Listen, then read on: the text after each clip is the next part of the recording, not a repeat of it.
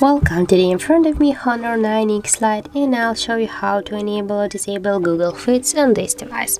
So in my case Google Feeds are activated on my device and now just turn it off here. Press and hold for a while your screen. And here on the right uh, right down corner you'll see the home screen settings. Go there and here you find the feed section. Just up there and as can you see we just got here our google discover. Just to turn it off tap here to the none and now we'll check that yes can you see when i'm swapped uh, to the right side with my finger? I can open the google feeds and if you want to turn it on um, by the same action go to the feeds and switch it to the google discover.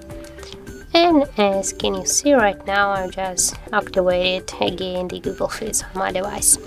So that's how it looks. If you found this video helpful remember to leave a like comment and subscribe our channel